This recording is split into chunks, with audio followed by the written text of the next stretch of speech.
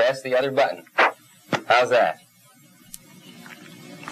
Hello? Yes, hello, and welcome to Information Television.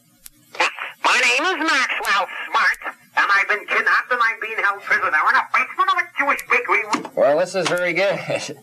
You'll I get- knew we'd get one like that, right? That'll be the first one. Maxwell Smart, wherever you are, have a good afternoon. Hello? My name is Maxwell Smart, and I've been kidnapped.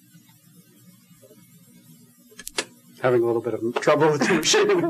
Yes, I would like to talk about the hydro. My blood is melting because my refrigerator can't keep it cold anymore because the prices are too high.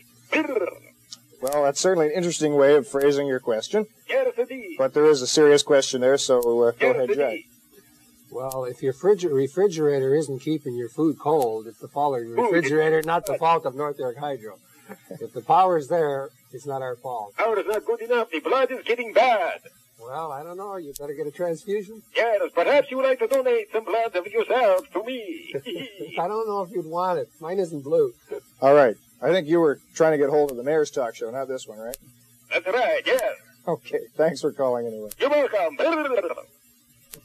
This is one of the great entertainment deals on television in the 1980s. The, uh, Where'd you find them? I I don't know. He found us. We didn't find him. The Now, Smart, Yes? and I've been kidnapped and I'm being held prisoner in a basement of a Jewish bakery with 500 pounds of poison bagels hanging over my head. Oh, really? Yeah.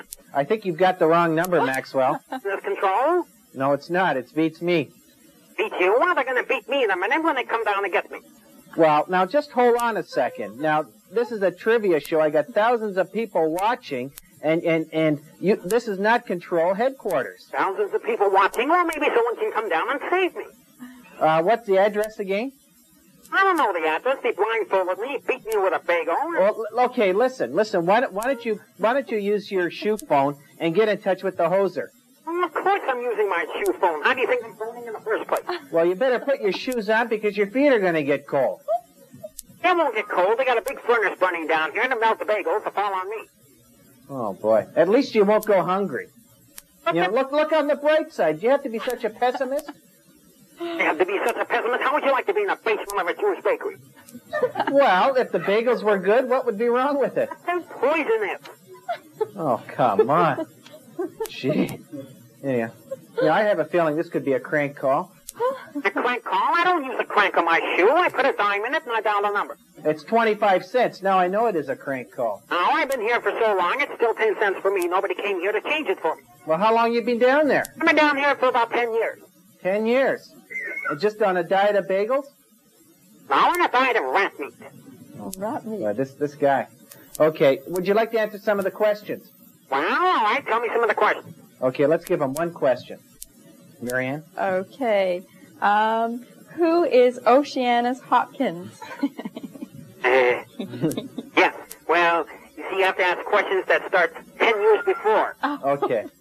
Okay, thanks for the call. It's me. Yes, hello. Hello. Yes, Who's this? this is the town. What is that? Somebody ate too many beans or something? That's Paul. He's doing sound effects tonight. Oh, funny guy. it sounds like he has better sound effects than we do.